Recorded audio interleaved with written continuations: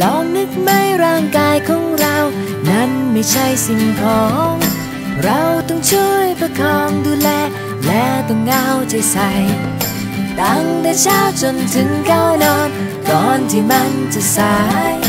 วันละนิดแค่คิดใส่ใจ เพื่อจิตใจและกายที่ดี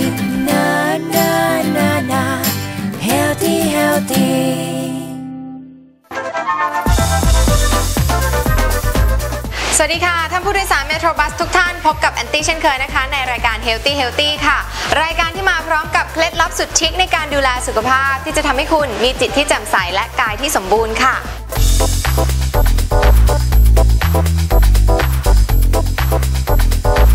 คุณจะดีได้ยังไงคะถ้าคุณยังอยากอาหารอยู่ตลอดเวลา วันนี้แอนตี้มีวิธีกำราบความอยากอาหารมาแนะนำค่ะ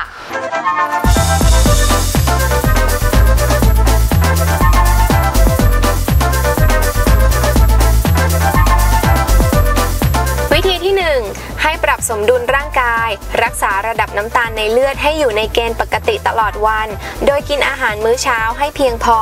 เพื่อกระตุ้นระบบการทำงานของร่างกายทำให้ระบบเผาผลาญมีประสิทธิภาพ ส่วนระหว่างวันให้กินมื้อเล็กๆ วันละ 4-6 ครั้ง โดยเลือกกินอาหารสุขภาพไขมันต่ำ เช่น ผลไม้สด ซีเรียล และถั่วค่ะ วิธีที่ 2 กินแอปเปิลสิคะ มีงานวิจัยยืนยันออกมาว่าแอปเปิลอุดมไปด้วยใยอาหาร และแพคทิน ที่มีคุณสมบัติช่วยลดความอยากอาหารได้ แถมยังช่วยให้อิ่มนานด้วยนะคะวิธีที่ 3 ดื่มน้ำเปล่าเยอะๆ การจิบน้ำเปล่าบ่อยๆ จะช่วยรักษาสมดุลในร่างกาย และแก้กระหายได้ดี โดยเฉพาะช่วงอากาศร้อน ร่างกายสูญเสียน้ำ คุณอาจรู้สึกอ่อนเพลีย ทำให้อยากกินของหวานๆเย็นๆ ที่มีแคลอรี่สูงเป็นพิเศษ วิธีแก้ง่ายมากๆค่ะ เพียงแค่ดื่มน้ำเยอะๆ ซึ่งจากผลการศึกษาของประเทศเยอรมนีพบว่าผู้ที่จิบน้ำบ่อยๆ จะช่วยเร่งการเผาผลาญไขมันเพิ่มขึ้นได้ และการจิบน้ำอย่างสม่ำเสมอตลอดทั้งวัน จะช่วยระงับความอยากอาหาร และลดการสะสมไขมันได้อย่างมีประสิทธิภาพค่ะวิธีที่ 4 มีสติทุกครั้งที่กิน และอยากกินทุกครั้งที่อยาก ยสังเกตไหมคะ ว่าบางทีก็ไม่ได้หิว และไม่ได้เป็นเวลาที่ควรกินด้วย แต่มันแค่อยากหลายท่านก็ตามใจปากกินอะไรต่อมีอะไรเข้าไปเสียมากแอนตี้เข้าใจค่ะว่าถ้ากลิ่นหอมๆโชยมา หรือเห็นอาหารน่ากินน่ากินอยู่ตรงหน้า หลายคนอาจจะอดใจไม่ไหว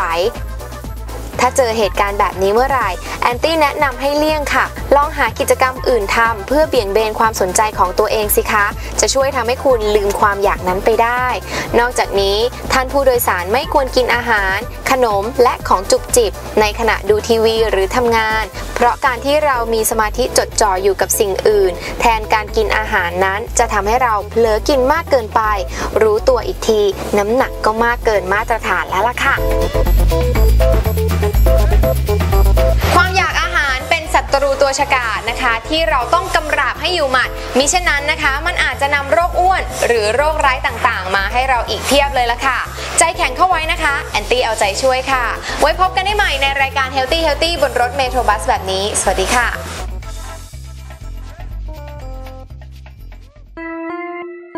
ลองนึกไหมร่างกายของเรา นั้นไม่ใช่สิ่งของ เราต้องช่วยประคองดูแล และต้องเอาใจใส่ ตั้งแต่เช้าจนถึงก้าวนอนก่อนที่มันจะสาย วันละนิดแค่คิดใส่ใจ เพื่อจิตใจและกายที่ดีนานานานา healthy healthy